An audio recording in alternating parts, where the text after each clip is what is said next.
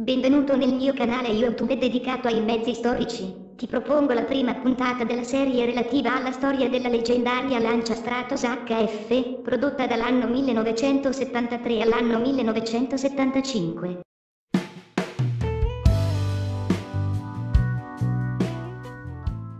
La lancia Stratos HF, ossia High Fidelity, alta fedeltà in lingua inglese, è una particolare vettura sportiva, concepita espressamente per la partecipazione alle competizioni, dotata di carrozzeria coupé, prodotta dalla celebre casa automobilistica italiana Lancia, a partire dall'anno 1973 e sino all'anno 1975.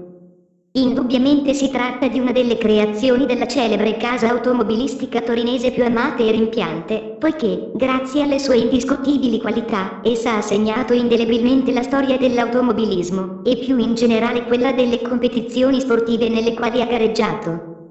Le origini della mitica vettura sono in qualche modo collegate alla presentazione di una concept car, designata come Lancia Stratos Prototipo Zero, che venne esposta per la prima volta durante lo svolgimento del Salone dell'Automobile di Torino, che si svolse tra il 28 di ottobre e l'8 novembre dell'anno 1970, nello stand della carrozzeria Bertone.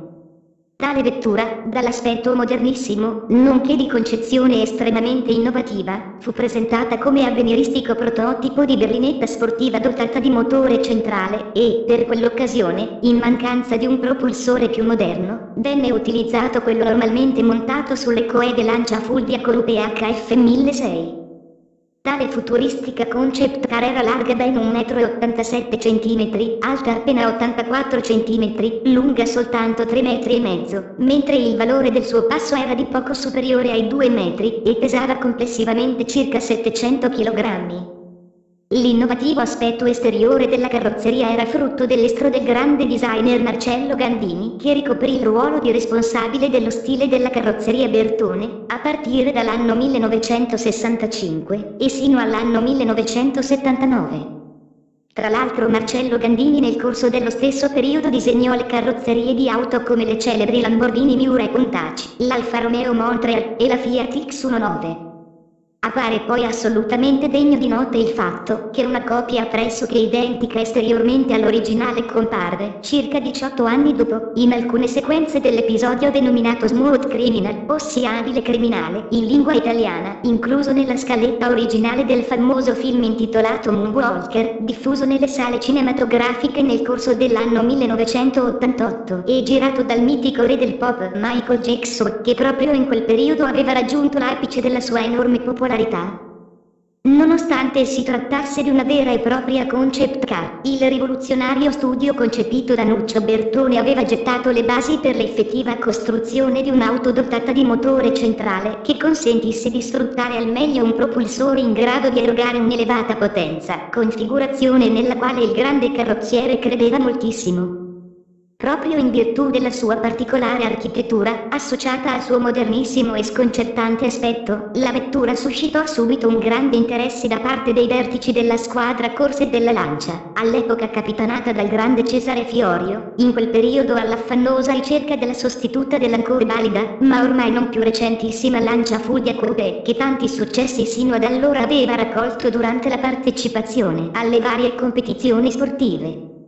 Grazie al suo interessamento nacque quindi la mitica Lancia Stratos HF, ossia la prima automobile prodotta in serie, ma in realtà specificamente progettata per la partecipazione alle competizioni sportive, sicché, nel mese di febbraio dell'anno 1971, Nuccio Bertone, accompagnato dal proprio direttore delle pubbliche relazioni, Beppe Panicco, venne sollecitato ufficialmente dai vertici della casa automobilistica Lancia alla presentazione ufficiale del prototipo della rivoluzionaria vettura al direttore generale della stessa, Pierugo Gobbato. Successivamente lo stesso Pierugo Gobbato, grazie all'appoggio ricevuto da Umberto Agnelli, diede il suo benestare all'approvazione del progetto, e ciò malgrado le mille obiezioni manifestate, tutte interne al gruppo Fiat, che da poco aveva portato a termine l'acquisizione definitiva in seno alla sua organizzazione della famosa casa automobilistica di Chivasso. Inoltre Cesare Fiorio, grazie all'appoggio incondizionato ottenuto da Pierugo Gobbato per lo sviluppo della versione definitiva della Lancia Stratos poté avvalersi anche della fondamentale collaborazione di una squadra composta da abili motoristi, disegnatori e meccanici,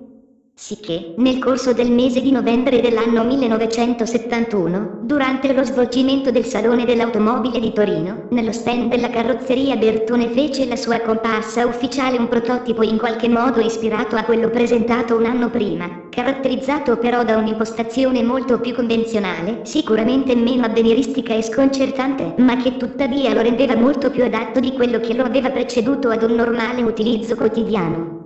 Si trattava in definitiva del primo esemplare della Lancia Stratus stradale, ossia un'aggressiva ma compatta Gran Turismo, il cui aspetto lasciava già presagire quello della futura temibile versione da competizione.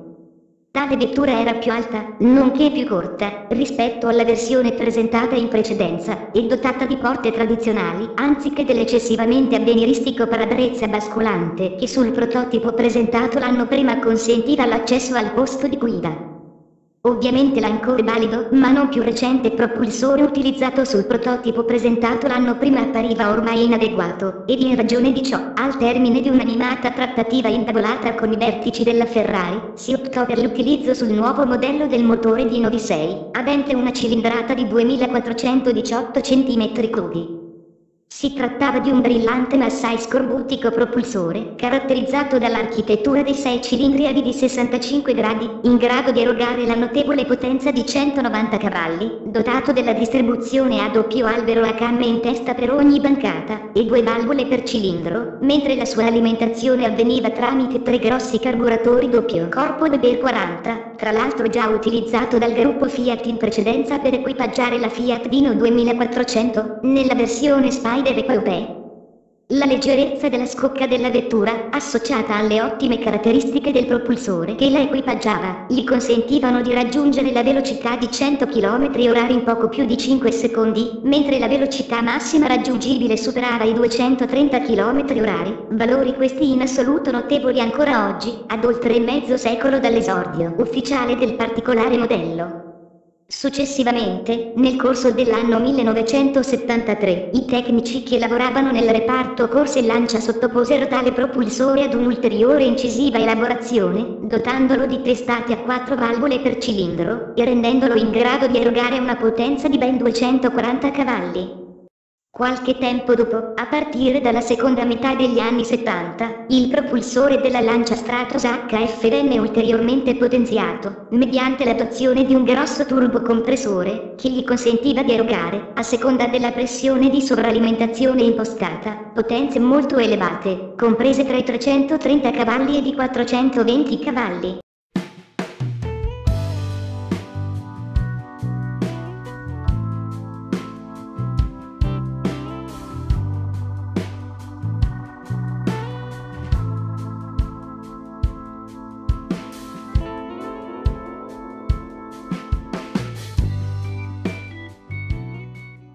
Spero che questo video sia stato di tuo gradimento. Se vuoi mettigli un bel mi piace, commentalo, condividilo, iscriviti al mio canale, e aggiungilo ai tuoi preferiti. Ogni settimana pubblicherò non meno di due video, dedicati ai mezzi storici. Arrivederci dunque al prossimo video.